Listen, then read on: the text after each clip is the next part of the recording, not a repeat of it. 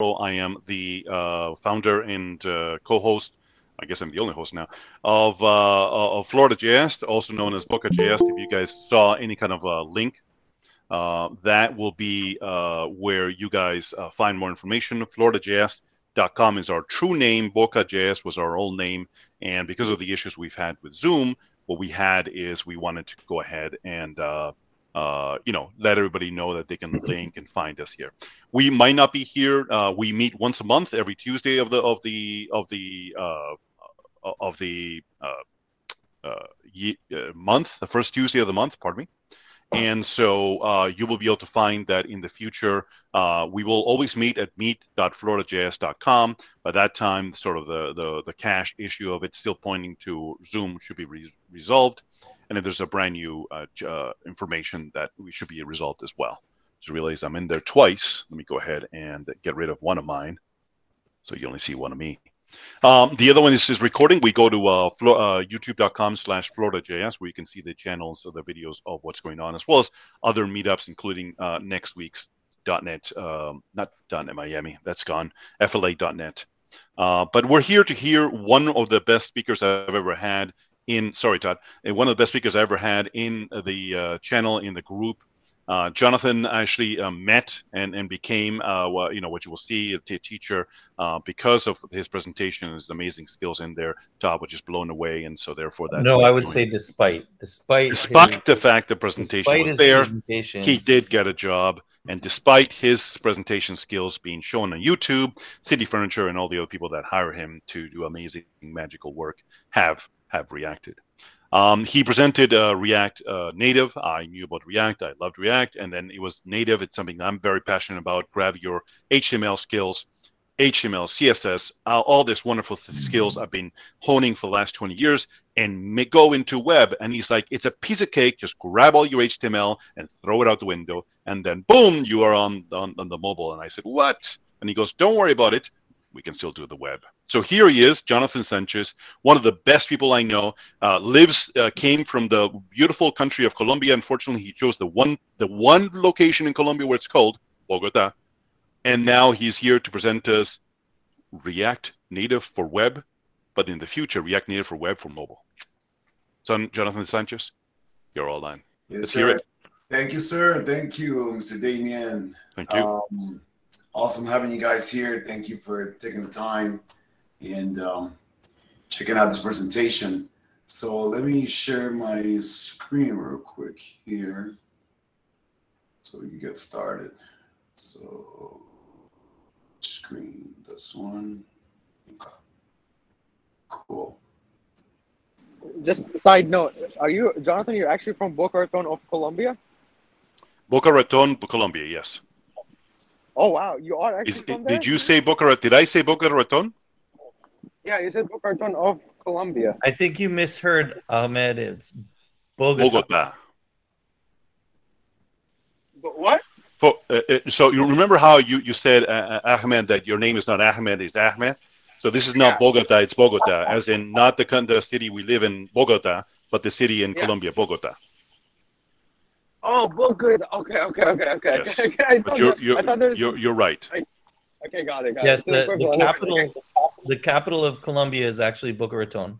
I ask everybody to, after we see this amazing presentation, you go back to youtube.com slash FloridaJS and see if I mispronounce the word Bogota with Boca Raton. In both words, they're Spanish, so I could have. It would have been made a lot of sense. Jonathan, take it away. All right. Yes, I'm from um, Boca Raton, Colombia.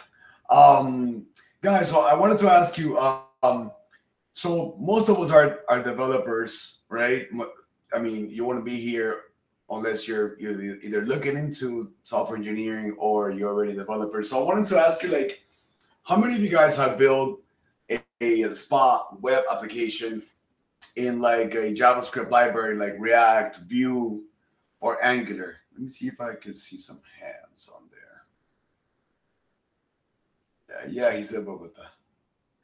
Okay, James has. James, what, what have you used before? Like Vue or React? Angular, Ionic, nice. Ionic's really cool. Um, okay. so that's with with the web application. So how about have any of you guys built with the same library or framework a mobile application? Has any of you guys built a mobile application with a JavaScript library? Okay, not yet. Cool. No, Have Todd was waving. no, Todd was waving. Me. Fingers singing. You don't, you don't- you don't count. Uh, you don't count. You don't count. I don't count. I'm not. I'm not. All right, cool. I And- once built a mobile app uh, with only zeros because the ones were not invented yet. Did I do that joke already? I did that joke already. Okay, I'm sorry. And native script Angular. Nice. Okay. Cool. All right. So, all right. So, cool. Nice. I wanted, I wanted to see more or less. I want to feel the uh, the audience and see what we got here. So, yeah, coded once and built for many. Right. So let's let's dive into it. So be, before I before we get into it, just a brief intro of uh, who who am I. I'm currently working at City Furniture. I'm a software engineer there. I I also um, teach from time to time in Boca Code. I used to work there full time.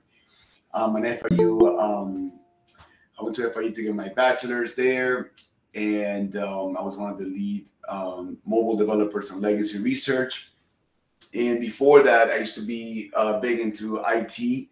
I used to be um, I used to be in the IT support in Carnival Cruise Lines. Uh, I was been always been an entrepreneur, had restaurant and a couple of other different businesses. Until my wife um, got scared and she's like, "Nope, you're gonna do something you're really good at." So, um, this is my two little girls, Nia and Anna Lee.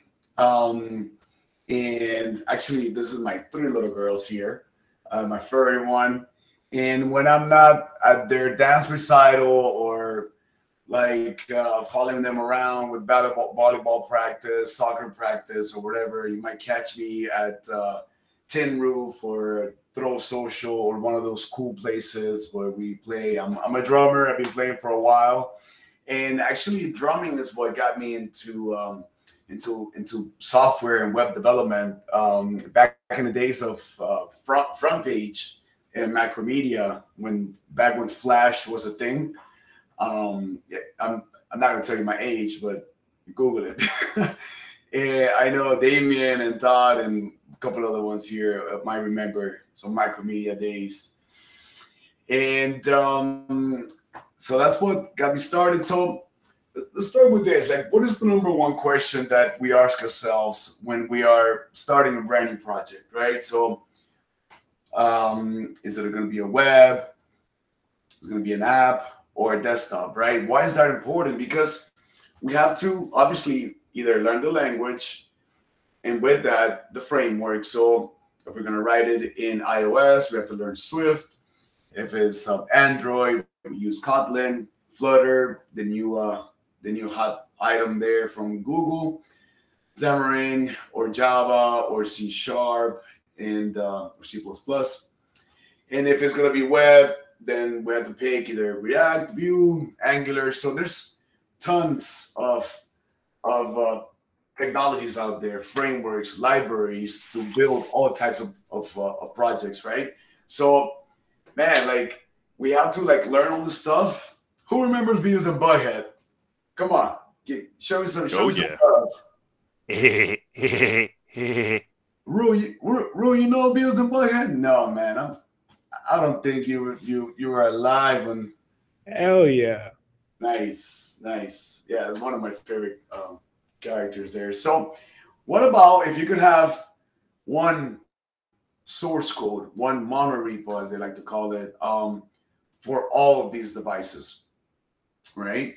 So that's what we're here today. Yeah. Also, I give you React Native. So with React Native, not only you could build cross platforms yeah, you're usually going to have a better experience because it's going to be a native application, not a web um, application that is just responsive. It's going to lower your development costs because you don't now you don't have to have a Kotlin expert, a Swift expert. Now you can have a React expert and just build for any of these things. So that with that you can reuse the code also in a lot of different ways. Okay, so why React Native? Why is it so hot? Well, a couple of the big names that are using it currently, like Uber Eats, uh, the Instagram app, it's all built in React Native. Um, Tesla uses it, Pinterest, all these big names here. You could definitely find a lot more. Coinbase. Coinbase, yeah, that's a good one. Nice. And even uh, crypto.com too. Um, that they have a really nice UI. So why why the hype with React Native? So because once you learn React and you're a web and you're building web applications, you can still you, you still use the same fundamentals for React Native. You can still use somewhat of the JSX um, the JSX uh, syntax, and you can still use your class or functional components. Even, even do the same thing with states and props, even all of the hooks, including Redux and even Saga, which is very, very interesting. So React Native, the best in class framework for building native apps, Android, iOS, and more, right? So React by itself is not a framework, it's a library. And as you can see here, the green is the is React, and you you consume that library inside of your code, where React Native is a framework. In the framework, you apply your code to that framework. Okay, so let's see. But there's some there's some differences, right? So we have in in React or regular HTML, we use divs to to have block level elements. But in React Native, we have to use the view or scroll view, and there's a couple of more. And notice that they're cap they're um up not uppercase, they're capitalized because there are components, they're native components for React Native. If it was a, just regular text like P or a, a paragraph or a span, then you would use the text. Flex is also interesting because uh, all of a sudden, as soon as you apply display flex, um, it's going in a web, we all know is going to go horizontal, but in native, it's going to go to a column view. For buttons, the same thing. It has has to be capitalized. Button touchable opacity. Button is very uh, restricted in React Native, so we use touchable opacity, and there's a couple of new ones that just came out with React um, 0.63, that's 64.3 that just came out. Image like that, and on and on and on. So there's a lot of differences on that. Um, so what exactly is React doing? So let's take let's take for example the view tag. So if once you apply the view tag, React Native it translates for Kotlin something that's called view group. I don't know Kotlin, but I know that view is going to work for Android and is going to translate into view group. And for iOS, it's going to turn it into Swift, into UI view. And React Native does all of that for us. Okay. So how does it how does it do it? So here's a um, here's a, a, a regular React component where for the regular React JS, it compiles and it goes into the, the DOM, the browser DOM. But then React Native uses a bridge where it translates, it translates entirely your code so that natively you can run it on these devices here. So let me um, scroll over here so I can see more of my notes. Cool. Uh, yep. Okay, cool. Then, so a little bit about the React Native architecture. So it uses a bridge that's called the bridge, but it, that's what it does. It bridges everything you that you write in JavaScript. It it um, translates it into native code for those platforms that we just talked about. Okay, and then so in, within React Native we have two flavors. One of them we have the React Native CLI Okay, and I don't know if you guys have uh, done work with with uh, React Native CLI, but this is only this only applies for Macs. But if you were to if you want if you want to build an iOS app, you have to download Xcode, which right now is about 15 gigabytes because it comes with all the iOS simulators. You have to install CocoaPods, configure CocoaPods. Um, and React Native comes with its own Metro bundler, which helps you uh, translate your code on the fly. if you were to um, code for um, I, um, for Android, then you need Android Studio separately. You manually have to configure your key store. You, you, you have to use either um, jarsigner or Google Build to um, generate that key store. You have to manually um, upload your APK to the through the Google console. And building and deploy, you'll have to manage your own certificates. You will have to, uh, if you were to do it in uh, for iOS, you could upload the build via Xcode. That takes a little while, and it could you could get some errors, and it's just uh, it's a bit um, of waiting and um, and hoping it all flies through. And finally, you get send it to test flight, and then wait for um, approval. So the second flavor of React Native, we have Expo. So what's so great about Expo? So Expo is think about Expo like it's a framework or more as a uh, ecosystem for multi-platform development. Okay, so right now Expo just recently released their SDK version 44. This one is also is uh, is it works with version 0.64 of React Native. And why why is it so why is Expo SDK 44 so great? So there's it's a basically a universal SDK where you could use right from the get-go, you could use video, um, barcode scanner, map views, image pickers, uh, gesture navigations, and all these components and many, many more components are available throughout all the cross cross platforms. Okay. Also, it it has its own App Store Connect, where basically it connects you to directly to your store, to your iOS um, Apple developer um, account, and you can submit your apps through there. You don't have to manually do it through Xcode. So, um, and then also they have a key tool service for app signing for Android. Okay. And how do they do it? So they have a Expo development server that as soon as you you're you're writing your code, it, it turns on, and that server turns on the Metro bundler that comes for free for from React Native. Okay, and there's a lot that goes in between, but we, you can definitely read up read up on that. Um, so the dev server turns on this Metro, where now every time you update your code, it's gonna go ahead and refresh in all the devices that you're running it, um, that you're previewing it. So the server is the endpoint that you that you first hit when you type in the URL of your Expo app, and I'll, I'll show you that in a little bit. So the purpose is the purpose for this Expo development server is that it's going to go through your manifest, which is a file that is inside of your your your um, your source code, and basically going to read the name, the the bundle um, URL, all the information that has to do with your app, and then it's going to translate it. It's going to put it into uh, Metro inside of Metro bundler. All right, and I'll, I'll show you guys how that works in a little bit. So why why also Expo? So in, in addition to the all of the great things I just talked about now, we have also the Expo Go clients. So basically, you build your app. Once you create your Expo account, it's a free account.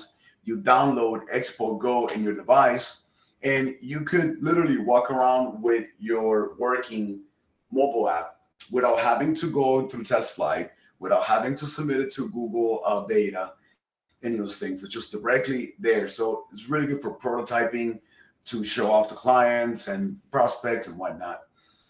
Um, so what about what about if you don't have a Mac? What about if you hate Mac? If you hate Apple? What about if you have Windows, okay, and you want to build a React Native iOS app?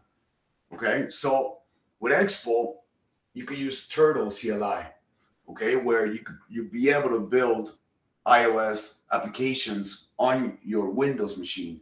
Obviously, you're not going to be able to install Xcode, no simulators for native simulators for um, for your Windows are not going to work. However, with Expo, you could run your app. Um, and I'll show you with the Metro Bundler, you could run it within. And um, yeah, this is really cool. Also, for example, if you are trying different um, or you're trying to get into, Expo offers snacks. So snacks really uh, is just on the web. You configure, you play around with the components. You could um, add and change, and you could see it right on your screen. Or if you wait a little longer, um, you could see it on a simulator because they have they run the simulator. Or if you scan the QR code, you could also run it on your device as you code in in the web. How are we doing with time? Okay, cool. All right, so another great feature is Expo updates. So Expo updates comes from their previous feature over the air um, changes. So uh, what it means is that you could push, you could update your app without having to submit your app through Apple or Google Play. So let me say that again. You could update your app, fix glitches and whatnot without having through the submission process, without having to go through the submission process of Apple and Google Play. And I don't know if you I don't know if you guys have done that before, but it could take days, it could take weeks, um, just to get um, your your new APK or uh, IPA file updated for your users to start um, messing with it, right? The next big thing, best thing here is EAS. So with this, they just released it, and basically there's three there's three commands. One one EAS build, it will, it will build your app in the cloud. You don't have to build, it doesn't run the build in your machine, it runs it in the cloud. And it gives you a link so you could download if you want to just manually do the transaction of submitting your app. Or you could also use EAS submit, where once it runs the build with one CLI command, EAS submit will submit your application up into the stores. And then as you need to update it, EAS update. EAS update, you can push quick fixes to all your end users. And this is really, really cool. Um, so what's what's what's the hype about the React Native and Expo? Well, not, not only because I met the guys at the React Native, the React uh, Miami conference, they're super cool. Evan Bacon and and uh, Charlie Sheen, Sheen, um, amazing guys, but it's just an awesome, awesome product.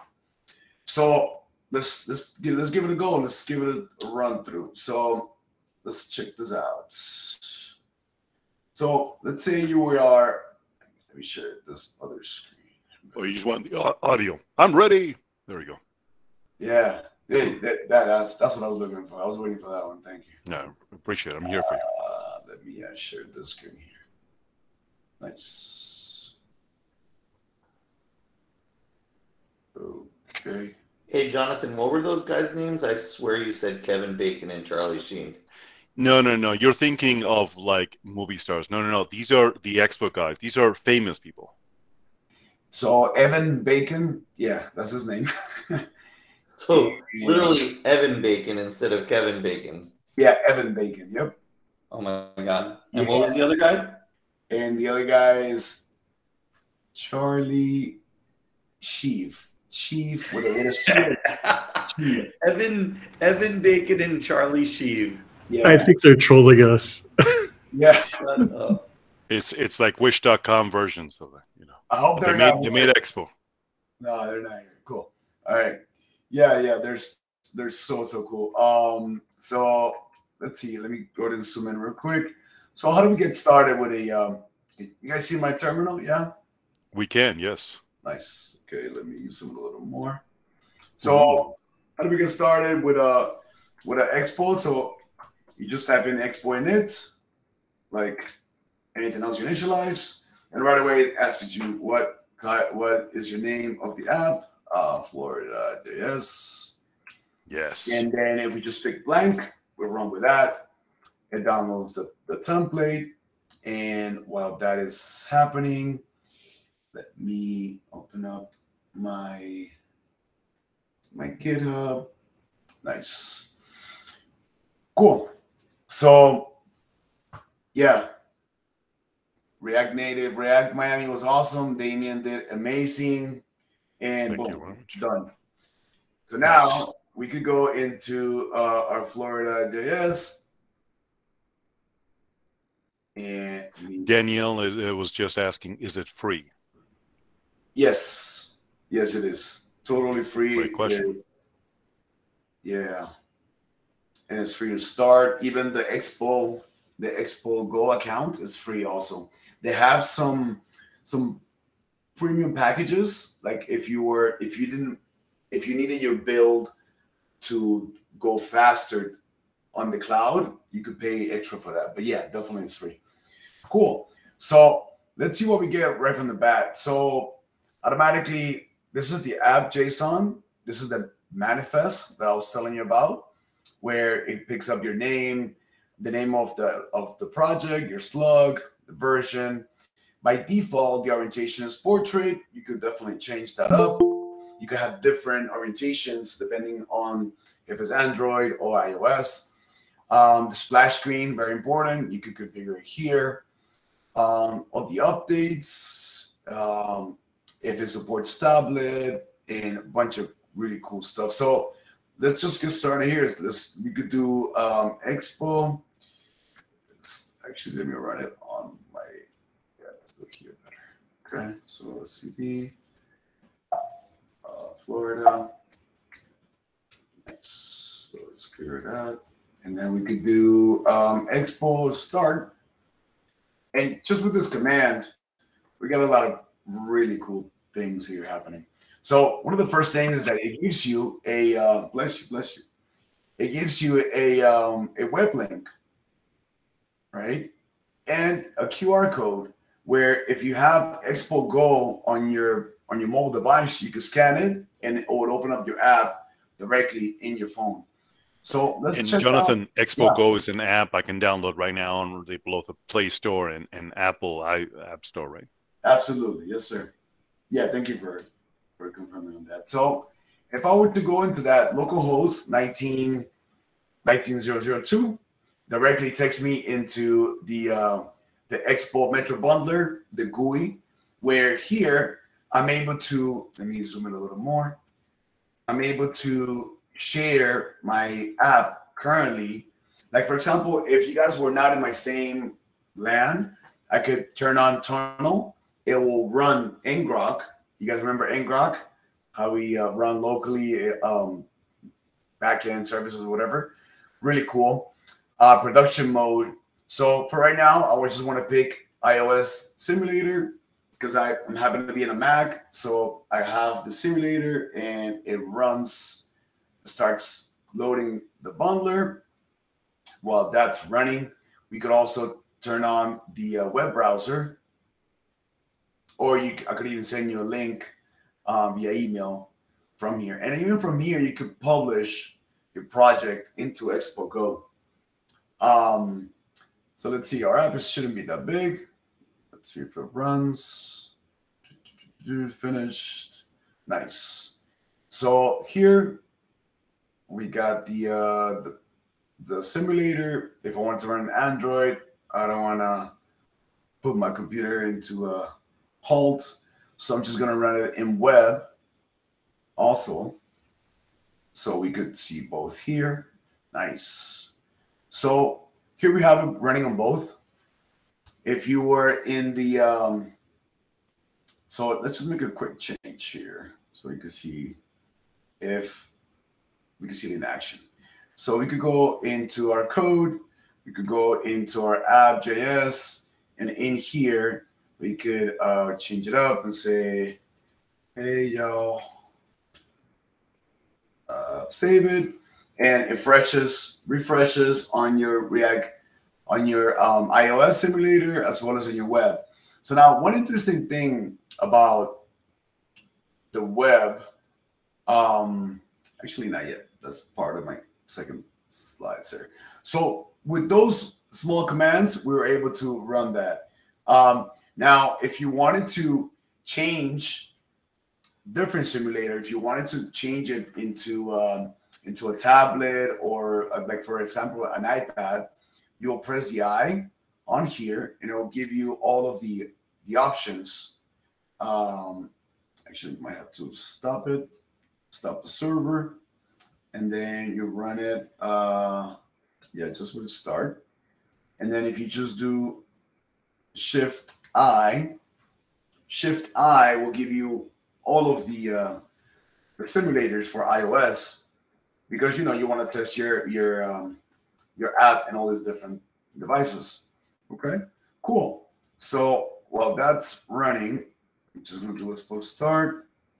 Well, that's running there. Let me get back to the uh, the presentation real quick. So we have a couple of things to cover. Let me um, where'd you go? Presentation. Here we go. Nice. So let's go back here. And guys, if you guys have any questions, for sure, just throw them as we go. This is not, you know, one-way street. If you guys have any comments or you need to correct me because my English is not very good looking sometimes. All right, so with Expo Build, we could literally just run Expo Build iOS or Android, and it will it will have it will run the build on the Expo server, and then you you'll get a link to download the APK for iOS or the IPA for Android. All right, so when is it good to expo or not? Like, should we always expo or not? Well, with expo, you don't need Xcode, you don't need Android Studio, you don't need all the headaches for the certificates, the configurations, any of those things. You have OTA over the air, which is now called Expo Update. So you don't need reapprovals unless you're touching like like um, navigation, if you're touching the manifest, if you're touching any of the items um, like that, then yeah, you need to resubmit. And it's a seamless deploy two commands and your app could be live um, for all of your um, your users. Now there's some sides, there's some you know not so good sides about Expo where push notifications you don't have you don't have the freedom to choose your push notification service. Expo comes with their own push notification service, but for example, you cannot use Firebase push notifications. Sorry, Todd. Um, I know you love Firebase and you don't have access to the native code. you don't have access to the native code, uh, where if you want to build your own native library to implement with React Native, it's going to be tough if you if you're on the Expo. And you know, there's may, might be a little too much magic sometimes, um, where you know you don't need the training wheels. So, what's next? How about Expo Build for web, right? So what is this web thing about?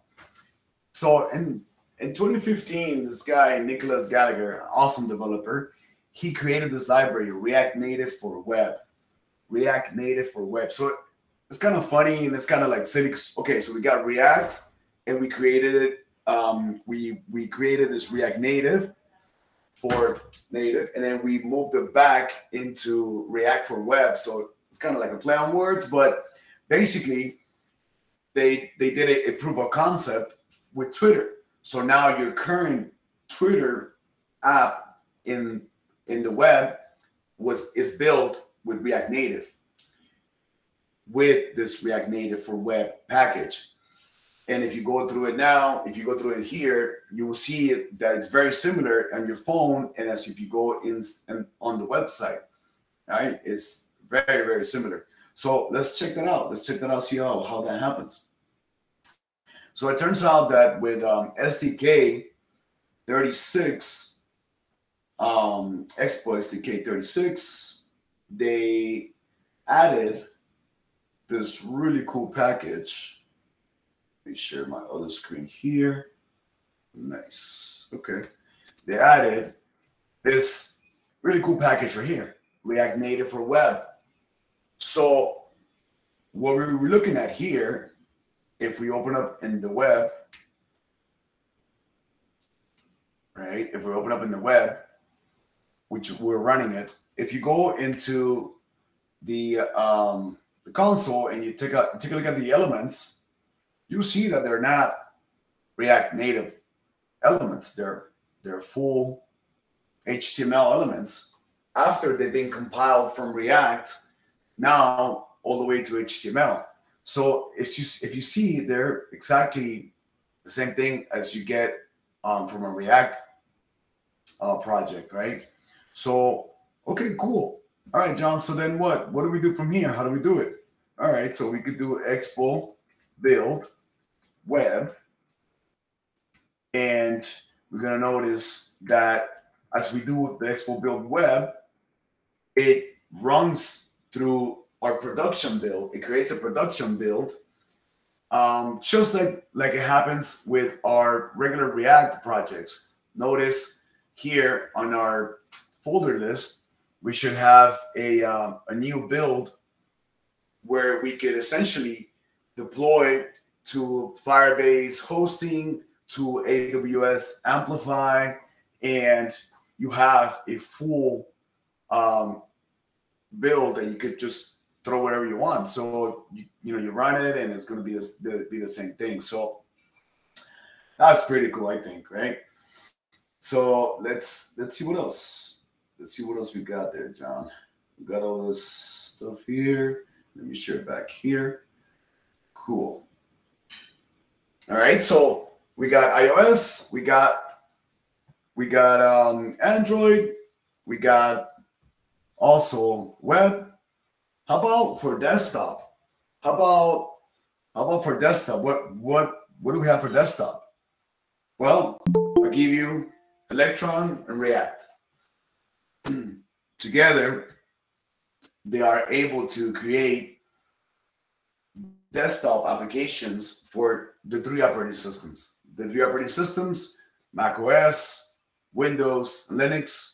So it's basically a Chromium um, wrapper with backend Node, and it has and in there we could write our React applications, and Electron makes all this possible.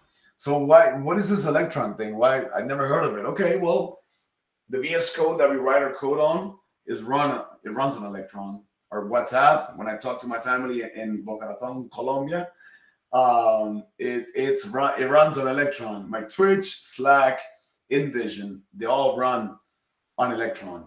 So it's really really cool. So okay, so what does that have to do with Expo? So Expo picked up on that, and they're like, okay, so how about we make a uh, a, uh, a package for that, a library for that? Awesome, cool. So you're like, man, for desktop, really? Mm, I don't know. I don't know. So let's take a look. Let's take a look, see if this thing works. My machine doesn't die. Uh, let me share my other screen here. Sweets. And the call is gonna end in 10 minutes. So I'll try to make it quick. Let's see if I can uh, extend it. Okay, cool. If Hey. not, everybody can join the link in a couple of seconds right after it. All right, cool. So, okay, let's see. So we could do yarn, expo, electron, and that's not gonna work. Let's yes, not it needs the ads. So give me a second. Let me find it real quick. And there we are. Okay. Ah, there we go. So we do it like this. Yarn add, electron adapter, and basically is applying um, the whole electron on here. So let's see if we can get this running on electron. Okay. So let's see, you guys are seeing that screen. Nice. Okay. So let's let me show you what that's running. Let me show you Expo. Expo um, snack. So literally, you just Google Expo snack, and you have the code of a regular mobile app in React Native, as, as you notice. So in React Native, there's no there's no Bootstrap, there's no CSS per se. However, we could use and leverage the style sheet component that comes from React Native for free. So in here, you're able to change your code. Um, like let's say, a okay, uh, let's say, slow it down. Yes. Hmm. I just save. Well, I didn't have to save it right away. It just updates. So from here, I could see my code in iOS or Android, but it does put you in a queue.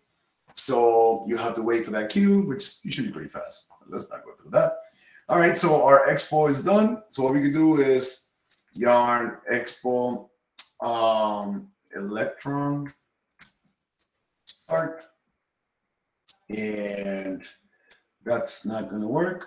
Let's see, let's see why not. So we have uh, to run it, yarn expo start. Yeah, yeah, that's what it did.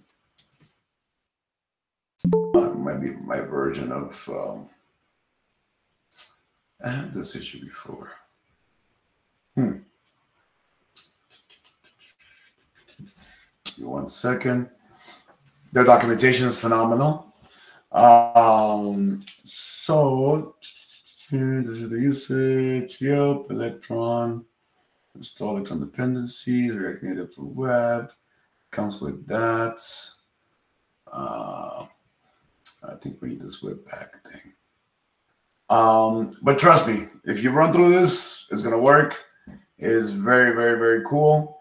Um, I have it in a repo up in my GitHub, and basically to run it, uh, you use that, and it'll run for you. I've even deployed that same version in inside of the um, uh, AWS uh, Amplify. Cool. So let me go back to the presentation real quick.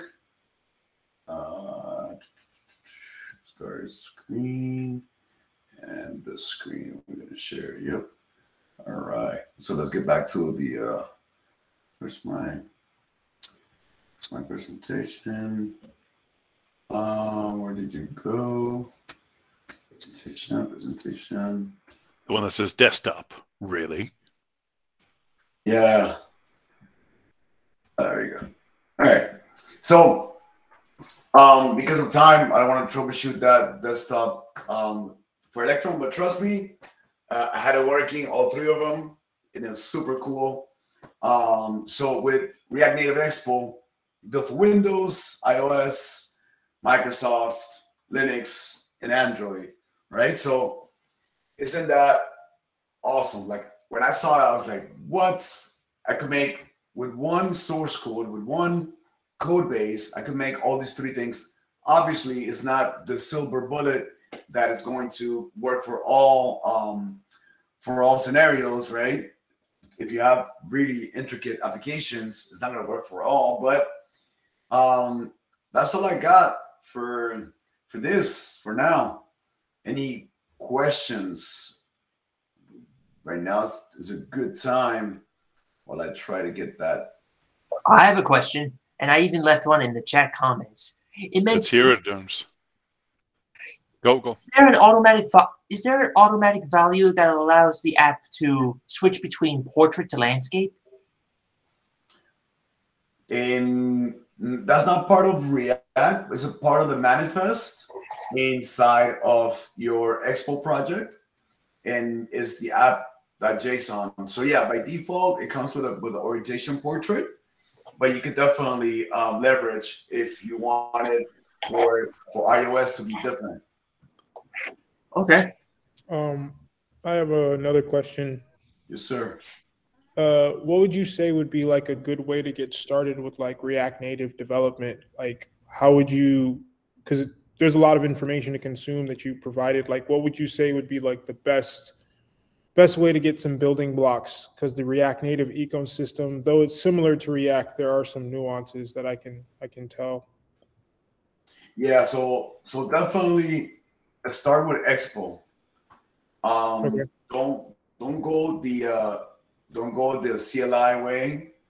Now, once you're inside of Expo, if you run, if your app is like full blown and you find like Expo is just too uh, constrictive or too uh, limited, you could always eject out of out of Expo. So Hmm. yeah, definitely start with that.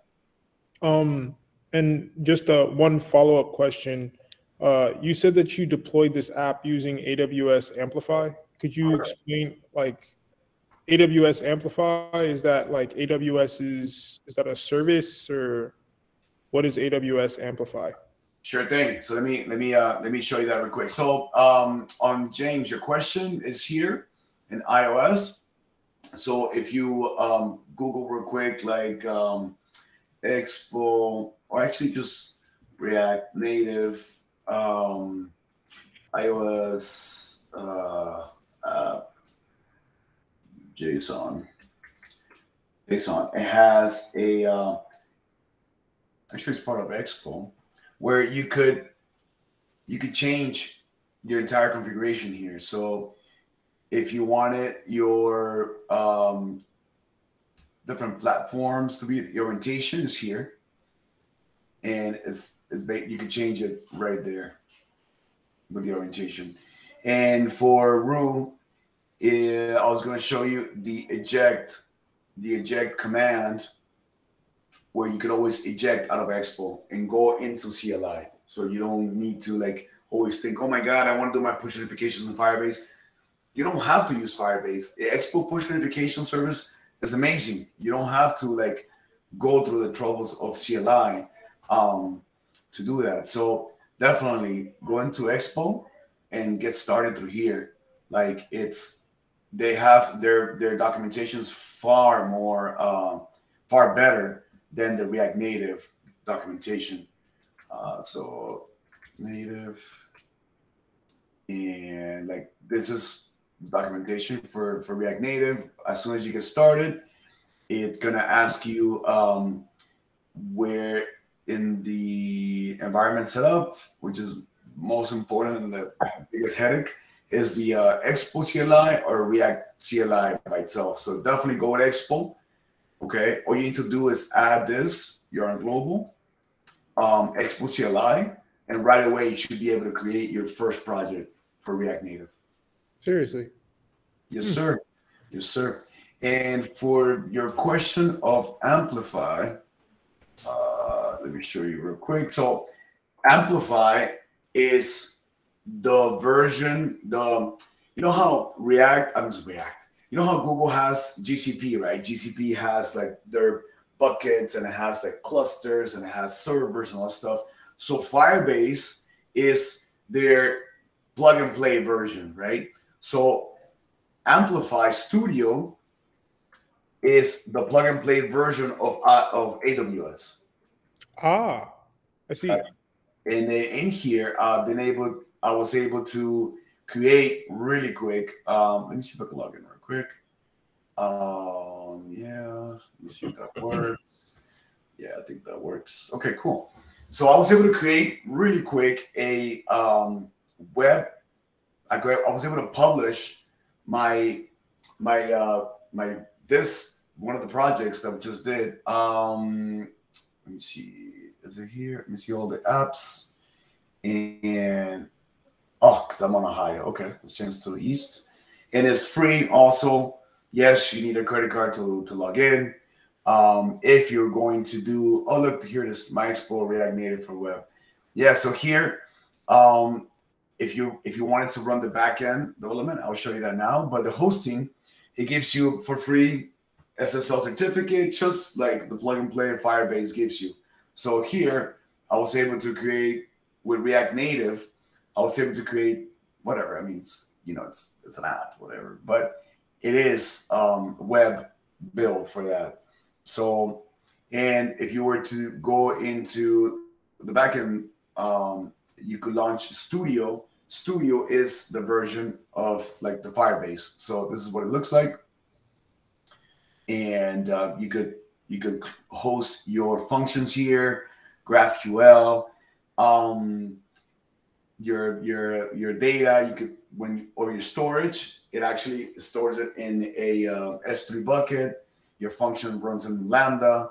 Um, one of the coolest things about Amplify is that you know in Firebase you have to use like Firebase deploy or whatever. Here you could connect it directly with your um, with your GitHub branch. So as soon as you push your code up to, to your main branch, it runs through the whole um, it runs through the whole uh, deploy through here. So Oh, wow. yeah, and enough. I'll show you. I'll show you some more amplify on that. I- It's really cool. But um, any other questions on React Native stuff? Um, be happy to answer. I was just going to say, um, last year, I wanted to learn a bit, a little bit about React Native because I have been doing some React for work, but not React Native. And I thought if a project comes in the door, it would be better if I was a little bit prepared. So uh, at our company, like internal hackathon that we do about two or three times a year, I decided to do like a toy project in React Native. And I realized kind of like partway through, uh, like I really want to demo this on my phone, but it's going to take forever to figure out how to do test flight and all that stuff. Uh, I hadn't touched any of that in a long time, and I knew it was all different.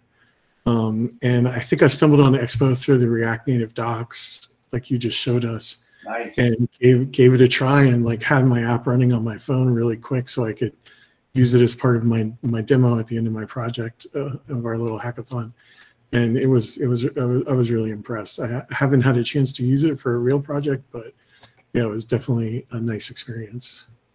Yeah, definitely. I, I when I when I came in across, I was like, man, I I had a friend that needed a, a mobile application, and I had no clue how to do it. But man, Expo has been such a blessing. I think so.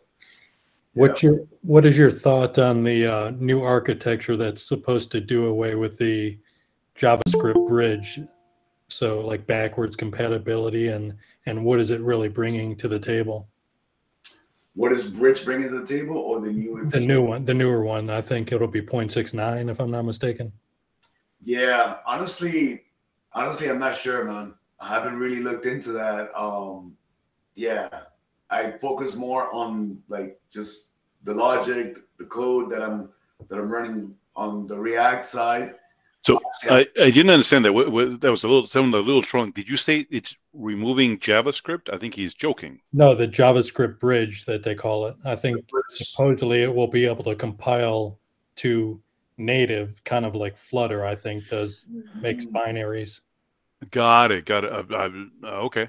All right. I, I I never understood why they need to do that. We we had a, a at work a, a need to. My apologies. A need to uh, compile Node, um, and there was uh, you know more for obfuscation than anything else. But uh, you know the the code doesn't run any faster. Um, I, I've always been impressed by people that have convinced themselves that JavaScript is the problem. That uh, that uh, uh, language that is part of the CPU, the M1s, and going back to the Intel, uh, part of the CPU has uh, JavaScript uh, in the CPU code base that's designed specifically with JavaScript. How people are insisting that it's the slower piece of the, the reaction. So, you know, uh, good for them if they will. You know, it, it's all about marketing, right? We want to sell more and more, but uh, I doubt there's going to be an improvement uh, in speed. Yeah, I've, I've seen that in a video, but honestly, I didn't I didn't quite understand like what are they going to replace Bridge with. But um, that'd be that'd be a cool thing to research. Thanks for that question, man. That's good. Yes. So one of the things uh, I I like, Rue, your question, uh, which was you're looking for like other places where uh, we might learn a little bit more about the latest about React, other than the Expo page. Um, do you mean like resources where we can see examples, some different demos? Is that what you're looking for? Yeah, I'm just just because I'm like I really want to get into mobile development, and because Right. I'm primarily I'm a web dev now, but I definitely want to build mobile applications that are presentable.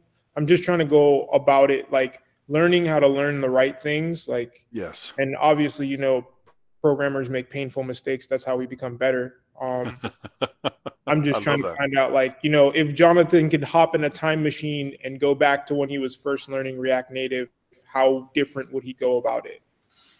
Ooh. Yeah, yeah, definitely. I wish there were more people talking about it, like like we are More- now, man. That's a good More point. presentations. Yeah, More wish- presentations on I different wish- meetups. I wish there were more people like talking about it because it's just so so easy to get started. Um, once you get to play with like like libraries that you bring in into your into your project, then you start seeing some some issues um, where you have to make sure that the versions align and all that stuff. But man, just to get started, um, just like I showed you, you know, in this past hour, it's been been a blessing at least for, for me. Um, so yeah, just Expo, man. Go directly to Expo and start building any project and grab like do you know like I did a snake. Uh, I did that. What's the flying bird game that you? That's like a flying bird. Floppy Birds. Floppy Bird, yeah, Floppy Bird. I did a Floppy Bird. I, I can't find it right now. But I did a Floppy Bird, and um, I did it. I did the tutorial and all that, and and I was able to to see it in all three, like in desktop. I was able to play it on desktop. I was able to play it on the web and on my phone, and that that was really what like I was like, whoa, this thing is powerful. So definitely just you know go out there, get a tutorial, start going through it, and just just start, man. Don't don't don't be afraid. So Danielle had uh, Danielle had a, a, great question here. Uh, I love your, your answer from from anybody that, that wants to answer it. Is there any steps or um, uh, directions I should take when considering converting a server side application or a web application, I guess, to mobile? You know, I mean, so what should we think about when we think about that? Sure. So so Expo, I didn't talk about this, but Expo uh, has also created a um, a uh, library to use with Next.js. So, well, I don't know if you guys have uh, have uh, used Next.js, but basically with Next.js, you don't need a separate API. You don't need a separate API or server because it does the server functions for you. It has its own. You could you could build your own um, API functions inside of Next.js. And in there, you could you could plug in also the Expo. Here, let me let me show my screen real quick. You could plug in the Expo for Next.js, and that's next level. At least for me, that that was like whoa. I, I love I you guys know I love um I love Next.js, and recently I was able to like really play with with the API capability. So I was able to create a, a SendGrid connection into like a regular form, but inside of my net my Next.js um, app. So basically, you just add, just add. Um, well, here they have a, a template with a with a dash t Next.js, and now you have a full Next.js app that will work with Expo using React Native.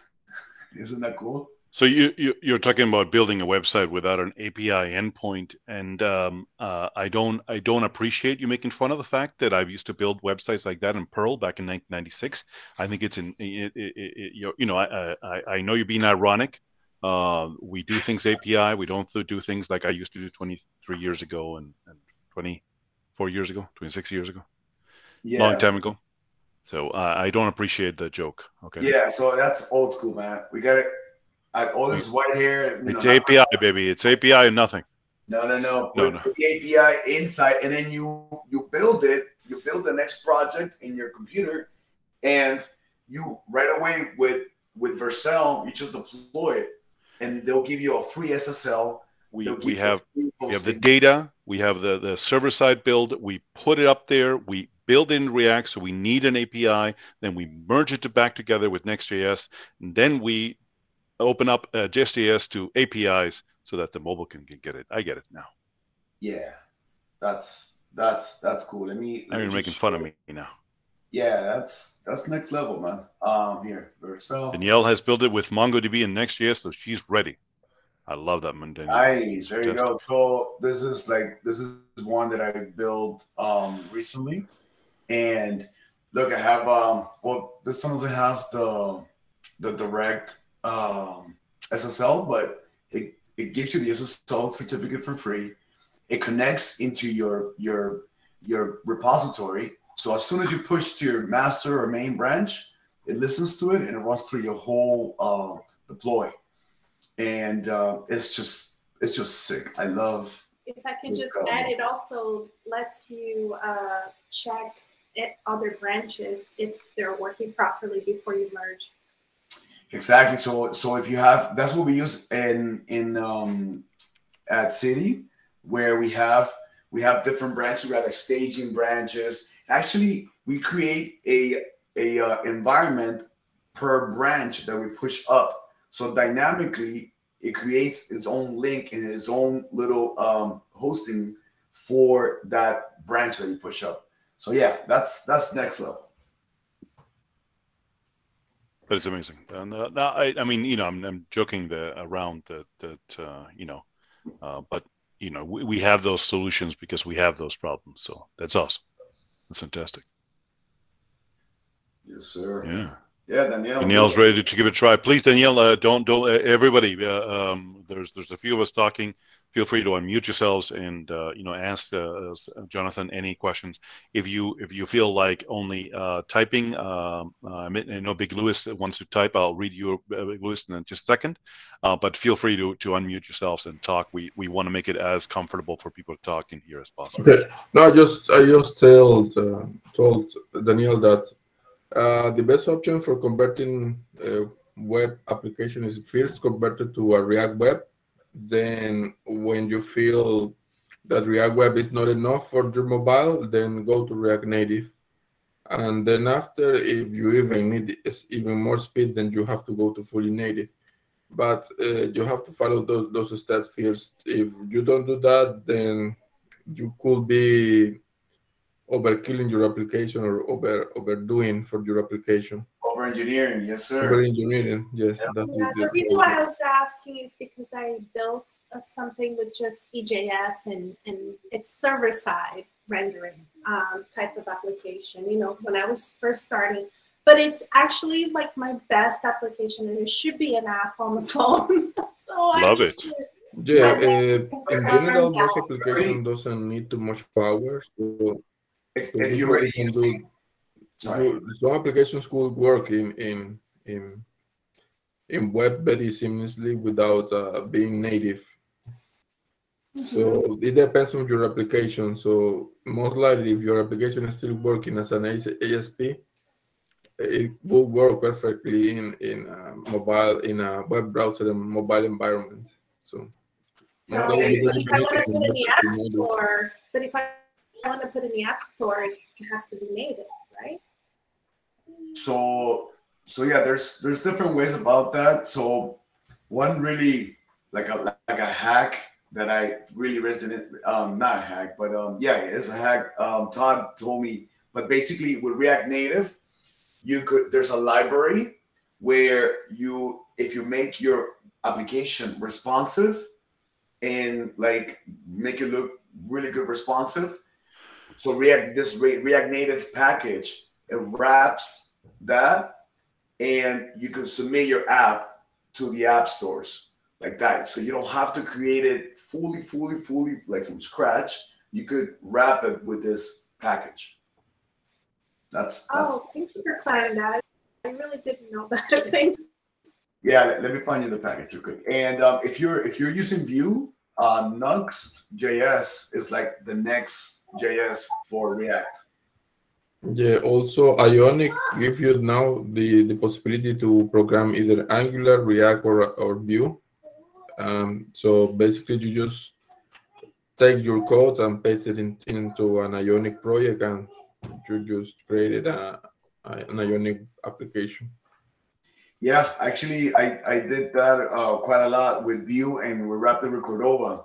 Um, so if yeah, you build it in Vue, you could wrap it with Cordova or Ionic, and boom, you have a, a, a mobile native mobile application. It's not native; it's just a wrapper, but it, it feels like like native. Yeah, you're, you're getting all the benefits of native. No, nobody's going to realize it's native. The App Store is going to allow you to be in there, should you wish to. Um, and just to remind everybody, um, as a user, and this is what I do for work, right? I mean, just be conscious of the fact that you have to be aware of what the user's doing. So a lot of users have fought back, you know, uh, from the fact that their iPhones are running out of space and, and decided not to install apps. So, you know, a PWA might be another option. Uh, I think that's what Lewis said a little bit earlier. Just be aware of that. Uh, but this is just amazing stuff. So I love the fact that the, we, had React Native, now we have React Native for web, and now you introduced us to React Native for web for desktop, for mobile, for Ionic. Um, so you know it's fantastic. Any more questions, please? Bring them on. Basically, what I'm hearing is if you write a badass React Native project, you you can ship it anywhere. It could be a desktop app, mobile app, and a web app. Exactly. That's awesome. Exactly, exactly like that. Now, just you know, just keep in mind that there's no CSS in React Native, so there's not like AMD or or Bootstrap. You do have to install like maybe React Native Elements or Native Base, which is our like um, helpers uh, that have the component um, uh, styling and pre-built so that you don't have to like do write everything from scratch. So those are the only things that you're gonna run into, you know, when you run when you create React Native for all these devices. That if you want like like Canva uh, animation, like the Canva HTML tag animation, that you're gonna have a really hard time to get that to work on your React Native. So there are some limitations, but if it's really um, streamlined, straightforward, man, should definitely try. All right. So how's everybody doing? Everybody has a good time so far. You like that Florida JS is back? Uh, I think we skipped uh, one month. I do apologize for that. Uh, hopefully, we will go ahead and make sure we never miss, miss any month. Uh, please keep the, the, the questions coming uh, for uh, for Mr. Jonathan. I am getting ready the win.floridajs.com. We always do it at the end of the month. But as we do this, go. I, I, I invite you to come over to, and I'll put it here in in, in the in the chat. Win.floridajs.com. That link will work even if meet.floridajs.com did not work. It will work next month. And go ahead and check it out. Uh, you can go ahead and get your ticket in there. The uh, prize right now is for a license for um, the uh, JetBrains uh, people, uh, from the JetBrains people. Uh, JetBrains is the same people that give you PhpStorm and WebStorm. Um, they will actually give you any license you want for a year, and it's just a matter of uh, winning. Uh, I do have one. It looks like, yes, I have one. Wait a minute. Do I have one or I have three? Hmm. All right. Let's say I have three. Somehow I have three. I shouldn't have three. But let's say we have two. Has anybody uh, had any trouble going to win.floridajs.com? Nope. James, your question about home use. Um, you can use this software anywhere you'd like. You can use it for your corporation as well. It is a license for a single license, so it can be used in any which way you want. All right, so I see people coming in.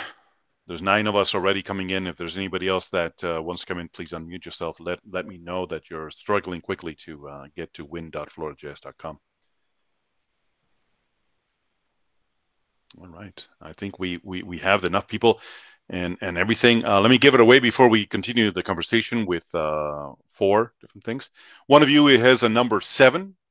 Uh, should should you uh, found yourself being in there, or do me a favor, and uh, there's no way really to uh, to um, send me a personal email, uh, but you can find me in the Slack or the Meetup. Um, okay. Oh yes, Jonathan has a website. Jonathan, what do we uh, you know, check out Jonathan's website on the chat there? Uh, we'll, we'll let you talk in just a second. I want to go ahead and let anybody knows that on meetup.com, meetup.com slash FloridaJS, this event space, you can contact me, uh, the organizer in the top right corner of the screen. Click on it, send me a message that you are number seven uh, and let's let's get uh, a little bit uh, more giving away. And if you're number two or number seven, uh, heck, just in case the, if you're number eleven as well, uh, you've won. Contact me through either any which way you know about me. If you know me through any of the Slack channels on Tech Hub South Florida, uh, I'm there. TechHubSouthFlorida.org slash Slack. I'm there all the time, especially in the humor section or the chat uh, on the developer channel to help me out there and uh, in meetup.com slash FloridaJS. You can find out more about me. Do me a favor if you like the experience, and, and Jonathan has been very, very kind. He's volunteered to do this, but he would like for you to go to uh, youtube.com slash FloridaJS. That's the only thing I ask you to go ahead and and subscribe and make sure that all your children and, and, and relatives subscribe to, even if they don't have a computer. So I uh, thank you very much, Jonathan. Uh, if the continue conversation we can, please. I needed to just get that out of the way. But uh, yes, Bob says thank you, Jonathan. Thank you, Damien. Thank you, everybody here. You don't have to go anywhere. What's it? What's it saying? Links to YouTube. YouTube.com slash Florida JS as in JavaScript. Jonathan, amazing presentation. Sebastian, have- what did you want to say? Tell us. Uh, I just have a quick question. How proficient uh, do you have to be in React before even thinking about jumping to, to native? Yeah, uh, that's a good question, Sebastian, and thank you for joining, man. That's really cool to have you here. Um, yeah, you you have to be proficient um, because you it, it takes React to the next level where your your routing is completely different, where you're you're passing props in and out, where your JavaScript um, skills are really going to take into place because you don't have regular CSS um, in Bootstrap to bootstrap your application. You'll have to like really know all the you know not the ins and out, but definitely at least understand context um, for uh, store management. Um, as you pass in and out, like for example, authentication, you want to make sure that all the screens have um, a state that you could always refer back to. So yeah, definitely start with with React, get really good, and then you know, then when you get when you get a little confident with React and you understand context and you're able to build like a full blown React app, definitely jump into React Native. Awesome. Thank you. Thank you for your